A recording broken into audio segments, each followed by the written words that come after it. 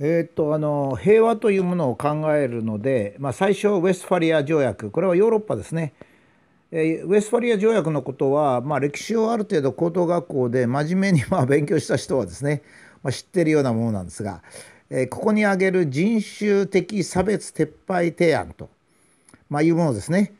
えこれを知ってる人は非常に少ないんです。実はこれこそ平和を考える重要な提案で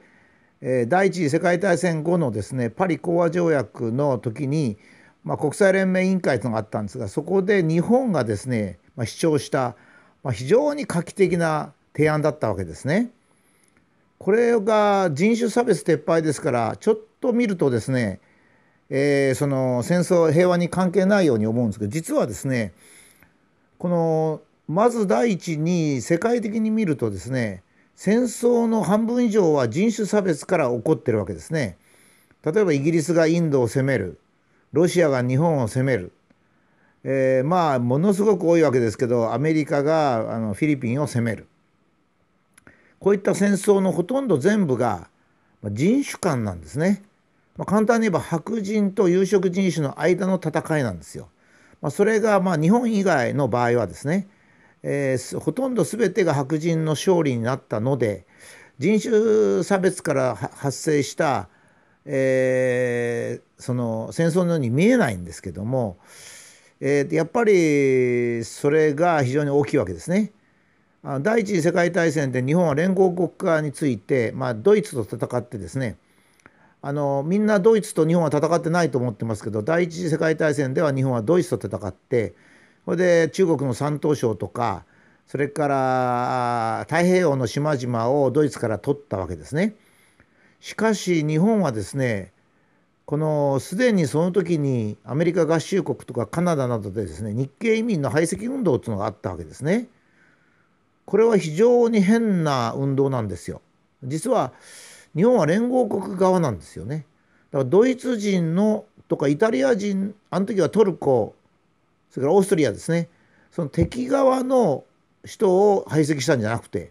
日系移民の排斥運動があったわけですねこれは第二次世界大戦の時に非常に大きく問題になったものなんですね。でそれからまあ日露戦争なんかもですねやっぱり人種的偏見なんですよね。ですから国際連盟ができる時に、まあ、人種的偏見の除去ということを日本がまあ断固頑張ったんですよ。この時西園寺金持ちが全権でが全権の一人に牧野さんっていう外務大臣がいたわけですね。で彼がまあ頑張って主張したんですよ。1919年のパリに到着した全権団がですね交渉を開始したわけですね。やっぱり一番難しかったのがイギリスなんですね。イギリスはその当時その 世界各国に、えー、この植民地を持っておりましてそれ全部有色人種の植民地でした。えー、しかもオーストあの南アフリカはまあ白人それからオーストラリアも白豪主義といって白人のことをやってましたから、まあ、オーストラリアとカナダとかそこら辺がものすごい反対したんですね。当初アメリカの大統領だったあのウィルソンですね彼はやや日本に神秘あの、まあ、いいかなっていう感じだったんですけれどもあ会議の途中でウィルソンは本国に帰るんですね。そうしますとえー、人種差別撤廃提案が通るとですねアメリカは国内法改正せんといかんという問題がある。でこれは内政干渉じゃないかと。ちょっと国際連盟としてもやりすぎじゃないかということで猛烈反対があって結局はですね全部で2回提案しました、えー、かなり頑張ったんですね、まあ、今の日本のですね外交力から言えば比べな比べ物はなんないぐらい強かった。ったわけですね。それでこの人種差別撤廃条約に賛成したのは、えー、日本でしょ？フランスの一部イタリアの一部ギリシャそれからいろんなユーゴスラビアチェコスロバキアポルトガル中華民国の合計11票がですね賛成して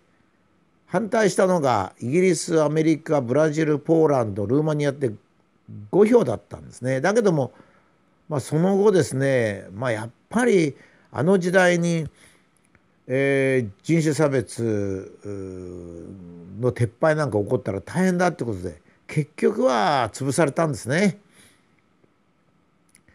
だから非常にあのまあ残念なことだったわけです。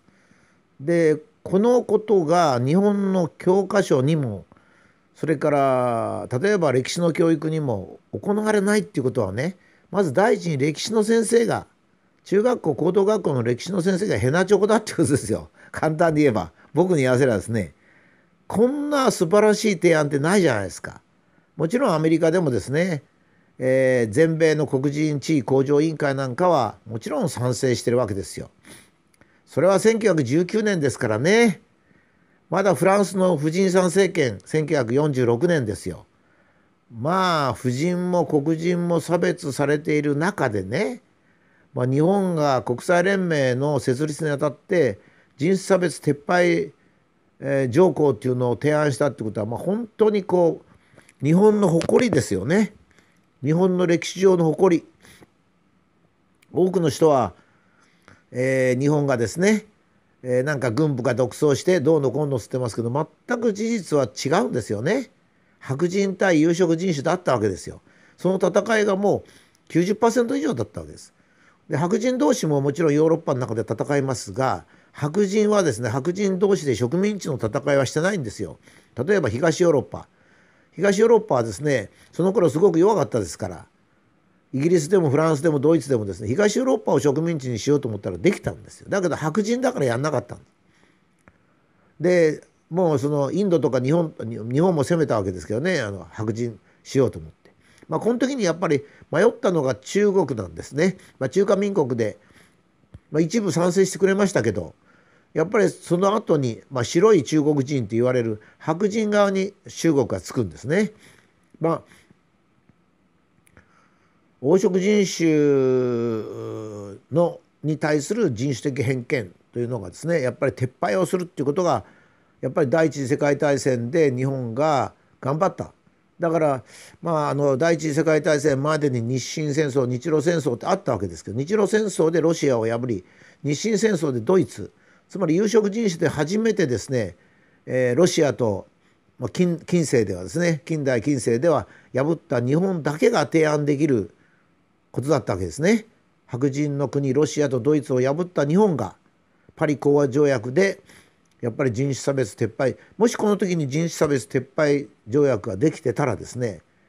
植民地に関係する戦争は大幅に減ったでしょう。それから後にこの2回目に話しますが第二次世界大戦とかですねそれから日本が行った大東亜戦争ももし人種差別がなければ、起こらなかったと思うんですね。ですから今平和というんで憲法をどう改正するかっていう話が出てる時にやっぱり我々はですね、えー、日本の日本を特別に選ぶったりするんじゃないんですけどやっぱり日本が1919年のパリ講和会議でですね人種差別撤廃条項を主張しそれもあと一歩のところまで頑張ったと全権団はパリに到着するなりですねもう下手な外国語を駆使して頑張ったわけですよね。なかなかおじいさんひいおじいさんは偉かったんですよ。この時の表面で活躍した牧野元外務大臣なんかも本当にしっかりして まあ今の政治家は爪の赤でもって言いたいぐらいなんですよ今もう小池さんの騒動なんかしてますけどそういうレベルの議論じゃなかったんですよね。まあ、こういうことをもし日本の歴史教科書もしくは歴史の時間にですねきちっと教えてたら平和に関する議論えー、憲法改正に対する議論もですね相当深いところまでいくと、まあ、いうことで、まあ、非常に残念でありますが、まあ、しかし残念があってもしょうがないですね、まあ、歴史的事実をよくここで認識し人種差別こそが一つの平和の大きな原因に戦争の大きな原因だった。現在でもそうですね、えー、白人のアメリカと有色人種の北朝鮮というのはある程度そういう関係にあるんですね。白人同士っていうのはそれほど戦わないんですよ。えーえー、アメリカとイランとかですねそれからイギリスフランスとシリアとかまあシリアとかイランはちょっと白人的なんですけどもそれでもやっぱり有色人種の一種なんですねそこに紛争があると、まあ、いうことを我々考えなければいけないと思います。あとはやや日本に神秘あのまあいいかなっていう感じだったんですけれどもあ会議の途中でウィルソンは本国に帰るんですね。そうしますと、えー、人種差別撤廃提案が通るとですねアメリカは国内法改正戦時間という問題がある。でこれは内政干渉じゃないかとちょっと国際連盟としてもやりすぎじゃないかということで猛烈反対があって結局はですね全部で2回提案しました。えー、かなり頑張ったんですね。まあ、今の日本のですね外交力から言えば比べな比べ物はなんないぐらい強かったわけですね。それでこの人種差別撤廃条約に賛成したのは、えー、日本でしょ？フランスの一部イタリアの一部ギリシャそれからいろんなユーゴスラビアチェコスロバキアポルトガル中華民国の合計11票がですね賛成して反対したのがイギリスアメリカブラジルポーランドルーマニアって5票だったんですね。だけども、まあ、その後ですね、まあ、やっぱりあの時代に、えー、人種差別の撤廃なんか起こったら大変だってことで結局は潰されたんですね。だから非常にあのまあ残念なことだったわけです。でこのことが日本の教科書にもそれから例えば歴史の教育にも行われないっていうことはねまず第一に歴史の先生が中学校高等学校の歴史の先生がヘナチョコだってことですよ簡単に言えば僕に言わせればですねこんな素晴らしい提案ってないじゃないですか。もちろんアメリカでもですね、えー、全米の黒人地位向上委員会なんかはもちろん賛成してるわけですよ。それは1919年ですからね。まだフランスの婦人参政権1946年ですよ。まあ婦人も黒人も差別されている中でね、まあ、日本が国際連盟の設立にあたって人種差別撤廃、えー、条項っていうのを提案したってことは、まあ、本当にこう日本の誇りですよね。日本の歴史上の誇り。多くの人はえー、日本がですね、えー、なんか軍部が独走してどうのこうのつってますけど全く事実は違うんですよね。白人対有色人種だったわけですよ。その戦いがもう90%以上だったわけです。で白人同士ももちろんヨーロッパの中で戦いますが白人はですね白人同士で植民地の戦いはしてないんですよ。例えば東ヨーロッパ東ヨーロッパはですねその頃すごく弱かったですからイギリスでもフランスでもドイツでもですね東ヨーロッパまず第一に歴史の先生が中学校高等学校の歴史の先生がヘナチョコだってことですよ。簡単に言えば。僕に言わせればですね。こんな素晴らしい提案ってないじゃないですか。もちろんアメリカでもですね、えー、全米の黒人地位向上委員会なんかはもちろん賛成してるわけですよ。それは1919年ですからね。まだフランスの婦人参政権1946年ですよ。まあ婦人も黒人も差別されている中でね、まあ、日本が国際連盟の設立にあたって人種差別撤廃、えー、条項っていうのを提案したってことは、まあ、本当にこう日本の誇りですよね日本の歴史上の誇り多くの人は、えー、日本がですね、えー、なんか軍部が独走してどうのこうのつってますけど全く事実は違うんですよね。白人対有色人種だったわけですよ。その戦いがもう90%以上だったわけです。で白人同士ももちろんヨーロッパの中で戦いますが白人はですね白人同士で植民地の戦いはしてないんですよ。例えば東ヨーロッパ。東ヨーロッパはですねその頃すごく弱かったですからイギリスでもフランスでもドイツでもですね東ヨーロッパを植民地にしようと思ったらできたんですよ。だけど白人だからやんなかったんでもうそのインドとか日本日本も攻めたわけですけどねあの白人しようと思って、まあ、この時にやっぱり迷ったのが中国なんですね、まあ、中華民国で、まあ、一部賛成してくれましたけどやっぱりその後に、まあ、白い中国人と言われる白人側に中国がつくんですね。まあ黄色人種のに対する人種的偏見というのがですねやっぱり撤廃をするっていうことがやっぱり第一次世界大戦で日本が頑張っただから、まあ、あの第一次世界大戦までに日清戦争日露戦争ってあったわけですけど日露戦争でロシアを破り日清戦争でドイツつまり有色人種で初めてですね、えー、ロシアと、まあ、近近世ではですね近代近世では破った日本だけが提案できる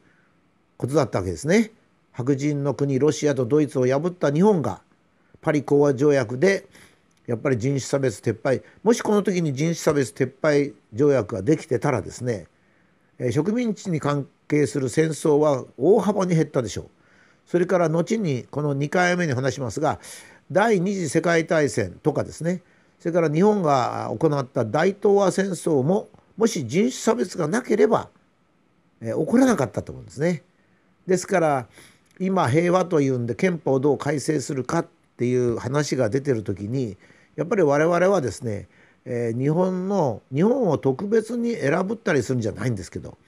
やっぱり日本が1919年のまず第一に世界的に見るとですね戦争の半分以上は人種差別から起こってるわけですね。例えばイギリスがインドを攻めるロシアが日本を攻める、えー、まあものすごく多いわけですけどアメリカがあのフィリピンを攻めるこういった戦争のほとんど全部が人種間なんですね。まあ、簡単に言えば白人と有色人種の間の戦いなんですよ。まあ、それがま日本以外の場合はですね、えー、ほとんど全てが白人の勝利になったので人種差別から発生した、えー、その戦争のように見えないんですけども、えー、やっぱりそれが非常に大きいわけですね。第一次世界大戦で日本は連合国家について、まあ、ドイツと戦ってですねあのみんなドイツと日本は戦ってないと思ってますけど第一次世界大戦では日本はドイツと戦ってそれで中国の山東省とかそれから太平洋の島々をドイツから取ったわけですね。しかし日本はですねこのすでにその時にアメリカ合衆国とかカナダなどでですね日系移民の排斥運動というのがあったわけですね。これは非常に変な運動なんですよ。実は日本は連合国側なんですよね。だからドイツ人のとかイタリア人あの時はトルコそれからオーストリアですねその敵側の人を排斥したんじゃなくて日系移民の排斥運動があったわけですね。これは第二次世界大戦の時に非常に大きく問題になったものなんですね。でそれからまあ日露戦争なんかもですねやっぱり人種的偏見なんですよね。ですから国際連盟ができる時に、まあ、人種的偏見の除去ということを日本がまあ断固頑張ったんですよ。この時西園寺金持ちが全権で全権の一人に牧野さんっていう外務大臣がいたわけですね。で彼がまあ頑張って主張したんですよ。1919年のパリに到着した全権団がですね交渉を開始したわけですね。やっぱり一番難しかったのがイギリスなんですね。イギリスはその当時その 世界各国に、えー、この植民地を持っておりましてそれ全部有色人種の植民地でした。えー、しかもオーストあの南アフリカはまあ白人それからオーストラリアも白豪主義といって白人のことをやってましたから、まあ、オーストラリアとカナダとかそこら辺がものすごい反対したんですね。当初アメリカの大統領だったあのウィルソンですね。彼はやや日本に神秘あの、まあ、いいかなっていう感じだったんですけれどもあ会議の途中でウィルソンは本国に帰るんですね。そうしますと、えー、人種差別撤廃提案が通るとですね